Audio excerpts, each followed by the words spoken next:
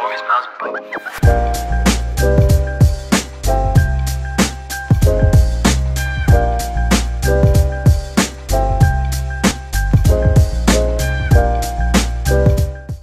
Good morning, Lobos. Today is Friday, April 30th of 2021. Thank you for joining us today. I'm Stephen Buchanan. And my name is Thomas Goodall, and you're watching La Joya Link. To start us off, Lobos, Americold is hiring in Tolleson. You have the opportunity to earn up to $32 an hour and a $1,000 bonus upon successfully passing a probation period.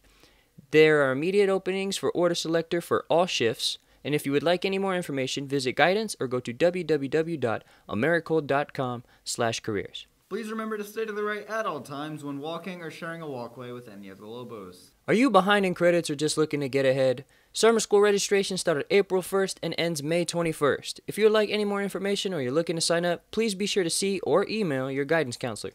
Attention students! Please keep in mind that school and district policy requires that you have your school ID visible at all times while on the school campus or on the school bus.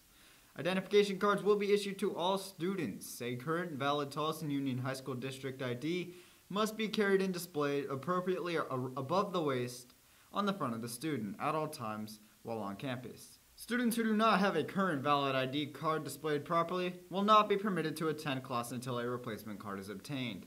The ID card may not be defaced or mutilated in any way. A lost, damaged ID card must be replaced at the student's expense in the bookstore.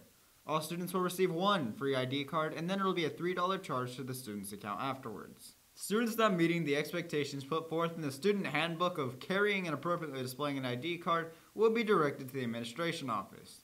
Students referred to the administration office for not carrying or appropriately displaying an ID card and who have current charges on their account for ID replacement will receive consequences ranging from detention to on campus reassignment.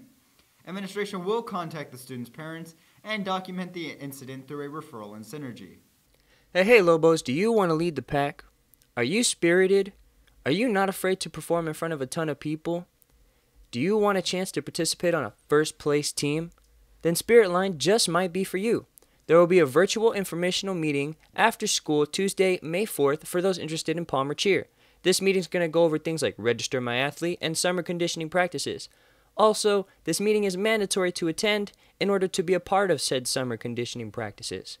If you would like the meeting link or for any more information, be sure to visit Coach Biles in the dance room or Coach Bennett in room 1108. Students joining the summer program for Spirit Line must be cleared to register my athlete before Monday, May 17th. Before Monday, May 17th. If you have any questions about RMA, please be sure to stop by the athletics office for more information. Well, that's going to be the announcements today. Thank you for joining us today. I'm Stephen Buchanan. And my name is Thomas Goodall, and say it loud. Say it proud. Go, Go, Lobos!